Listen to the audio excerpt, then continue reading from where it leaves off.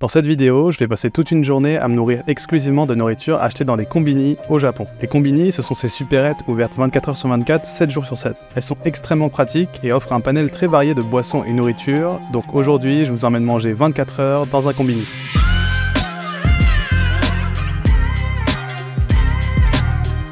Mesdames et messieurs, bonjour à tous et bienvenue à Tokyo. Aujourd'hui on se retrouve pour une nouvelle vidéo où je vais manger 24 heures dans un combini au Japon. Il y a plusieurs sortes de combini ici au Japon et les plus réputés c'est 7-Eleven, Family Mart et Lawson. Et je vous emmener dans les trois aujourd'hui pour voir s'il y a un peu une différence. En général c'est à peu près la même chose mais chacun a ses préférés. Premier combini de la journée, Family Mart, on va aller prendre le petit déjeuner ici. Bon pour commencer il me faut un petit café. Et je vais prendre ça. On a des cafés latte directement dans les frigos. C'est pas la seule façon de boire des cafés, mais c'est une des façons. Et vous allez tout de suite voir que les rayons de bouffe est absolument énorme.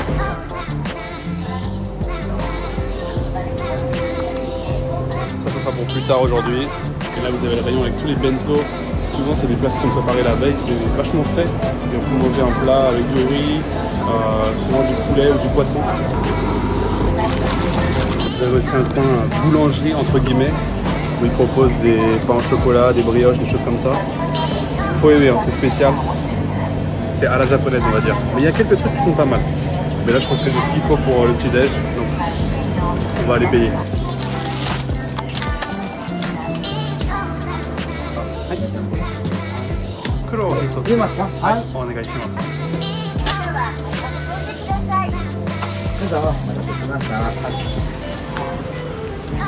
J'ai le petit déj, on va pouvoir aller se poser dans un parc et manger ça.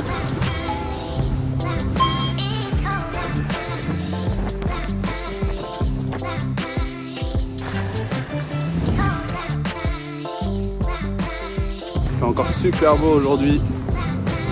Ça va être une belle journée. Je vais trouver un endroit tranquille pour prendre mon petit déj, juste à côté de la rivière. Vous pouvez voir, il y a un mec qui pêche là, c'est hyper paisible. Il y a des enfants qui jouent au baseball juste à côté. J'espère que vous allez m'entendre parce qu'il y a un peu de vent. On va tout de suite commencer par le café. Alors ils appellent ça directement café au lait. Hein. C'est pas compliqué, c'est comme chez nous. Et je vais pas vous mentir, c'est la première fois que je goûte celui-là. D'habitude je prends pas comme ça mon café. On va tout de suite voir ce que ça donne. Moi j'ai besoin de mon petit café pour me réveiller là. Oh. Écoutez, c'est meilleur que ce qu'on trouve dans les distributeurs.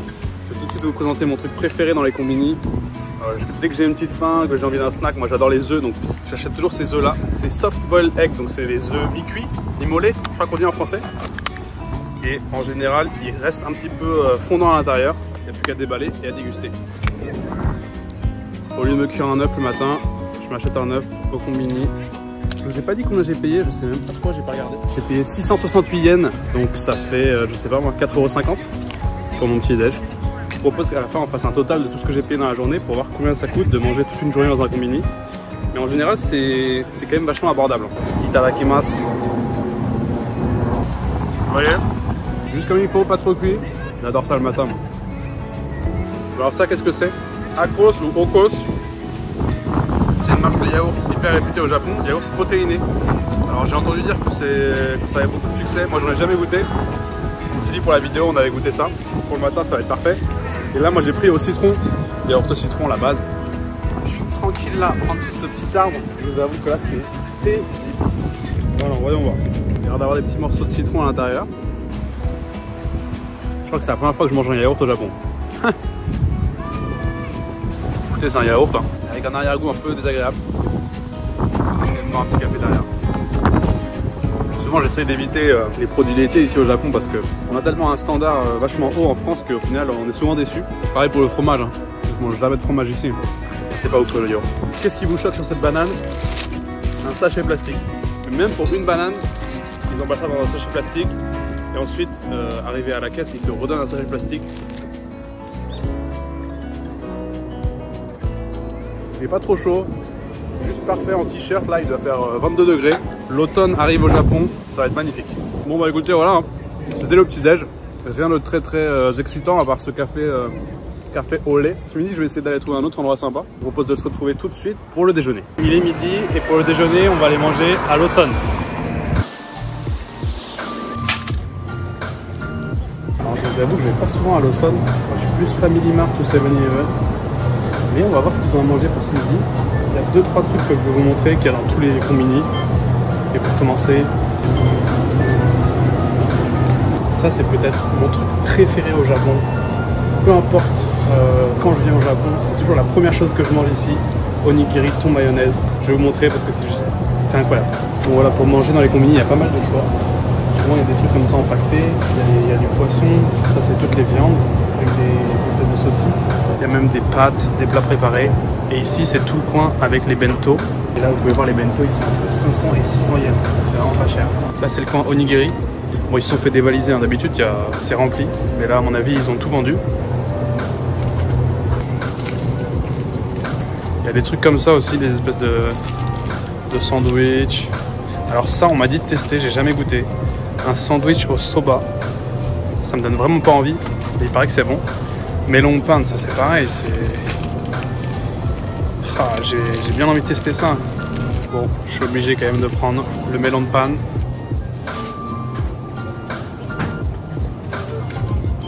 Ça, les amis, il n'y a rien à dire, c'est les meilleurs chocolats que vous trouverez au Japon. Imbattable. Je vais vous montrer. Ils ont toujours plein de saveurs de chips aussi. C'est des trucs, mais les chips à la saucisse ou je sais pas quoi. La première fois que je suis venu au Japon, j'avais vu ça, des chips à la pizza. Je m'étais dit, ok, les Japonais ils sont fous. Et ça a vraiment le goût de pizza, hein. c'est ça le pire. Tout un rayon de glace aussi. Ils ont des glaces qui sont pas mal. Hein. On testera ça ce soir, je pense. Donc, qu'est-ce que je vais prendre en boisson? Je pense que je vais me prendre un petit thé vert.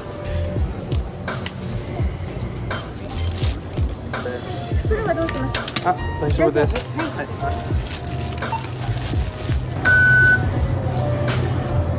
Oh waouh, ils sont fait dévaliser, ils ont plus rien, regarde. Il y a tellement de trucs encore que je vous ai pas montré dans les combini. Il y a les bento, ils font des ramen, mais des vrais ramen, pas juste les, ramen. Donc si ça vous plaît, dites-le moi dans les commentaires, je vous ferai peut-être un épisode 2. Mais en tout cas, je connais un petit coin sympa et je vais aller me poser pour aller manger mon déjeuner.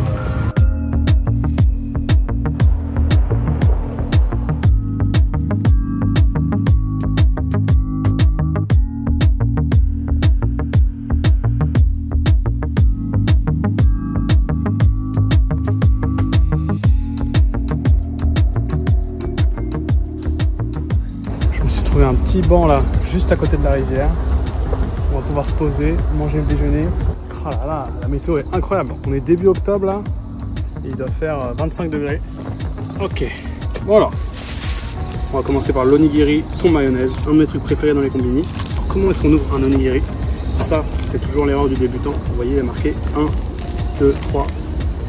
Il y a un ordre, et on commence par tirer sur la languette. Parce qu'en fait, si vous voulez, l'algue à l'intérieur, elle touche pas le riz. C'est ce qui va la rendre croquante. Il y a un mécanisme. Hop. Vous voyez, l'algue est séparée du riz avec un plastique. Et là, juste pour ça, je serais capable de venir au Japon. Allez, itadakimasu. Mmh. Juste ça, ça me suffit pour kiffer ma journée. Mmh. Imaginez un riz cuit parfaitement à la japonaise, l'algue croquante qui ajoute un petit peu de sel, à l'intérieur le thon mayo. Je vois pas comment on pourrait faire mieux. C'est juste la base quoi. Avant je buvais pas de thé vert. Depuis que je suis au Japon, je me suis mis à boire. C'est vachement bon. Pour moi, ça a vraiment le goût du Japon quoi. J'ai pris aussi un sandwich à l'œuf. Et ça, ça peut-être pas l'air appétissant dit comme ça, mais pour moi, c'est les meilleurs sandwichs au Japon. Sont très très forts pour faire des sandwichs à l'œuf. Pareil, il y a toujours une languette.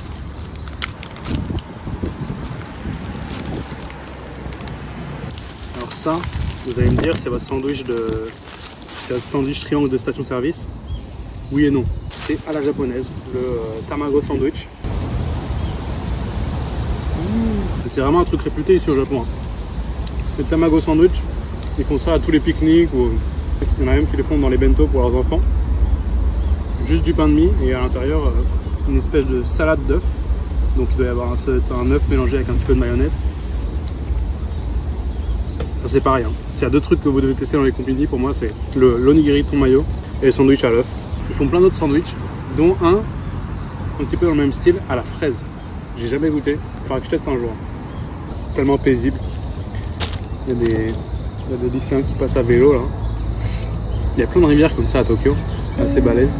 Et souvent c'est là le plus agréable pour faire du vélo. Ensuite j'ai des nouilles au tofu. Ça j'ai découvert ça la semaine dernière. C'est vraiment pas mauvais. Et euh, voilà, c'est pour faire un peu attention à ma ligne on va dire. Alors voilà à quoi ça ressemble. C'est des nouilles euh, basiques. Je vais mettre une petite sauce avec. Voilà, ça sent, je vais vous mettre partout, tu vas voir. Ok. Merde. bon, bien sûr, j'ai mis la moitié à côté. Et honnêtement, ça a les mêmes goûts que des nouilles. hein. C'est des nouilles hyper fines. Voyez C'est pas comme les nouilles, euh, j'avais goûté une fois des nouilles au konjac. Les trucs, les nouilles zéro calories là où ça a vraiment aucun goût. Là, pour le coup, ça a du goût. hein. Pour moi, c'est vraiment un petit plat de nouilles léger, c'est frais. Mmh. Une petite sauce soja avec, légèrement poissonné, c'est un goût très japonais. Ça, ça se mange tout seul. L'été, c'est parfait. Suis pas spécialement fan de tofu en général, mais là en forme de nouilles, ça passe tout seul. Et merde, j'en ai foutu sur mon pantalon. Et ben voilà, c'était sûr. En fait, ce que j'aime beaucoup dans les combini ici au Japon, c'est que contrairement aux supérettes qu'on peut trouver en France, on peut se faire un repas euh, plus ou moins équilibré. C'est des produits qui sont en général plus frais que ce qu'on trouve chez nous en France, qui est moins cher. Là, je vous ai pas dit, mais j'en ai eu pour 1100 yens, je crois. Ça fait à peu près, je sais pas, 7,50€. Mangé. Maintenant, on va passer au melon pan. Littéralement un pain melon. Ça n'a pas de goût de melon, contrairement à ce qu'on pourrait penser. C'est juste la forme qui est un petit peu euh, l'aspect d'un melon, on va dire. Bien sûr, ce qu'on trouve dans les combini, c'est pas les meilleurs. Il y en a dans des vraies boulangeries où on peut trouver beaucoup mieux. Mais en général, c'est quand même assez bon. Ça fait très longtemps que j'ai pas mangé de melon de pan. Ça doit faire peut-être 4 ans. On va goûter ça.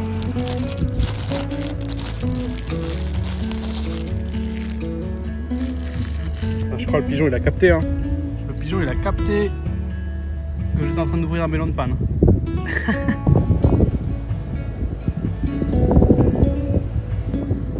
bon, je vais me dépêcher de manger parce qu'il y a deux pigeons qui ont senti le melon de panne à 3 km.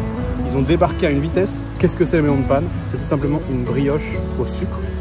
Je pense qu'il n'y a rien de plus simple.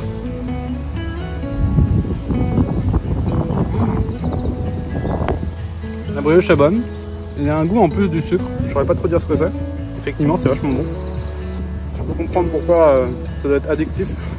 c'est vraiment une bonne brioche. Je dirais pas que ça vaut non plus euh, nos viennoiseries françaises, mais franchement, ça se, ça se défend. La prochaine fois, j'irai dans une vraie boulangerie pour goûter un melon de panne tout chaud qui sort du four.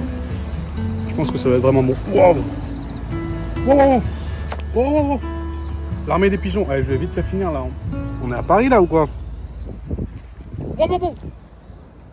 Wow, et j'aime pas ça moi.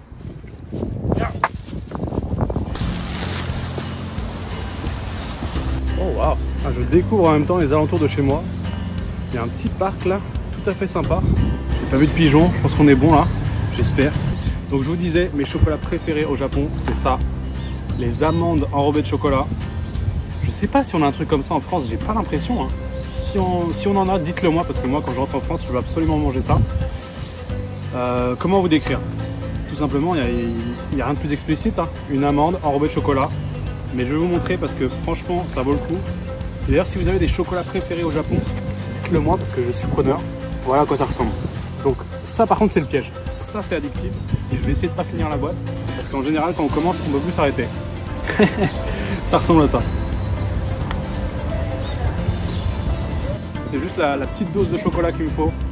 J'en achète pas souvent parce que sinon euh, je prendrais 5 kilos. Mais j'étais obligé de vous montrer ça. C'était mon repas pour ce midi. Ce soir je vais manger des trucs complètement différents donc on va tester autre chose. En particulier je pense que je vais tester des ramen. Bon allez, on se retrouve tout à l'heure. J'étais assis juste là, j'avais pas fait gaffe. On a une vue sur la Skytree carrément. Pas dégueu. On a fait Family Mart ce matin, Lawson ce midi. Pour finir la trilogie ce soir, on va aller à 7-Eleven et je vais aller manger mon dîner. Je suis assez curieux de ces ramen. Il y a un rayon de cup noodles absolument énorme. Il y en a une en particulier qui m'attire l'œil. Parce que je vois que c'est un gros bol. On va aller tester ça, je pense. T'as toutes les sauces et tout ce que tu peux vouloir aussi euh, pour cuisiner. Est-ce que je me prends des chips? Waouh, des chips au bœuf de Kobe. Des chips au bœuf, ça existe. Un de mes préférés aussi, les chips à l'algue nori. Bon alors, je vais prendre ça. Ça fait un. Il y a aussi toute une gamme de plats surgelés. J'ai jamais trop testé ça. Ce sera peut-être pour une prochaine vidéo. Des spaghettis, des udon. Vous allez voir souvent à la caisse aussi, ils vendent du poulet. Et je vais en prendre un pour vous montrer. C'est le classique, le fameux poulet frit japonais. Il y en a dans tous les combini. Est-ce que je me prends une petite glace pour ce soir? Celle-là me donne bien envie. Hein. La glace 7-Eleven. Allez. Allez. Chicken no hitotsu. Nana chicken.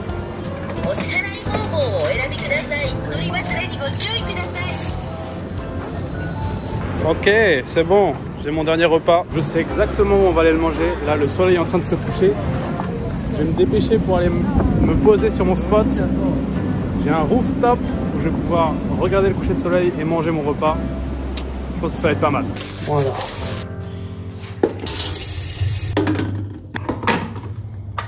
J'imagine que c'est assez simple. Faire de l'eau, mettre dedans. 3 minutes.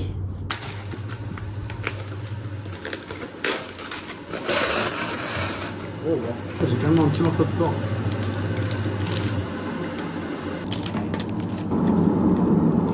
C'est jamais très appétissant au début. Je vais vous montrer une petite technique quand vous faites des ramen. Vous voyez les baguettes là Faut pas les casser. Vous prenez votre, prenez votre languette. Et hop, ça tient. Maintenant, on attend 3 minutes. Bon, bienvenue sur mon magnifique rooftop. Vous avez vu avec la vue sur le coucher de soleil. J'ai même vu sur la Skytree là-bas. Les nouilles sont presque prêtes. En attendant que ça finisse de cuire, je vais en profiter pour vous montrer le fameux chicken dont je vous parlais, que vous pouvez trouver dans tous les combini à la caisse. Ça se présente comme ça. Il n'y a plus qu'à ouvrir. Et là, vous avez un magnifique chicken. Alors moi j'ai pris épicé, mais c'est pas vraiment épicé, hein, c'est juste qu'il y a des petites graines de poivre je crois à l'intérieur. Itadakimasu. Ça c'est juste un bonheur. Si vous avez un petit creux, vous passez dans un combini, à la caisse vous demandez un, un poulet, vous pouvez l'avoir à n'importe quelle heure de la journée. Mmh. Souvent quand on est en soirée, tard le soir, dans les rues de Shibuya ou je ne sais où, le petit chicken il fait du bien. Trop bon. Ça fait 3 minutes. Je propose d'ajouter le dernier ingrédient des ramen. Au revoir. Itadakimasu. On va mélanger le tout. Pour prendre la vignette. Ok, je pense que ça va être prêt. Ça a l'air pas trop mal, hein, mine de rien, je m'attendais pas à grand chose. Après, on va voir, j'ai pas goûté. Mais ça a l'air meilleur que les cup ramen dont j'ai l'habitude. Le bouillon est légèrement épais. C'est tout ça. Et sans plus tarder, on attaque. C'est vraiment entre des cup noodles et des ramen traditionnels qu'on trouve dans les magasins. Mais je dirais qu'on est à 10% du goût qu'on retrouve dans les vrais restaurants ramen. C'est meilleur que les cup noodles traditionnels, mais c'est pas non plus euh, incroyable quoi. Ouais, ça va, ça passe on va dire. Je pense que c'est pas les meilleurs. Je vais goûter le bouillon quand même. Le bouillon a un peu de goût. Je pense que c'est un des ramen tonkotsu, donc aux os de porc. Mais euh, ça vaut pas d'aller dans un vrai resto de ramen et de se faire un bol. Je peux imaginer que ça dépanne. Là où je suis curieux, c'est vraiment le morceau de viande. On va goûter pour voir si c'est bon. Ah, non. Ça se mange, hein. ça dépanne, mais c'est pas le truc que je mangerais pour me faire plaisir. Moi, ce que je vous conseille plutôt, c'est vraiment le poulet frit. Ça, c'est bon. Et enfin, pour finir en dessert, je me suis pris une petite glace spéciale de la marque 7-Eleven. Donc, chocolat vanille, j'ai l'impression. Non, chocolat et lait. On trouve beaucoup de glace dans les combini au Japon. Souvent, c'est pas mal. Si j'arrive à l'ouvrir, sans m'en foutre partout. C'est casse-tête le truc. Ok. Oh. Oh oui. Ça, ça régale. Avec un petit coulis de chocolat par-dessus.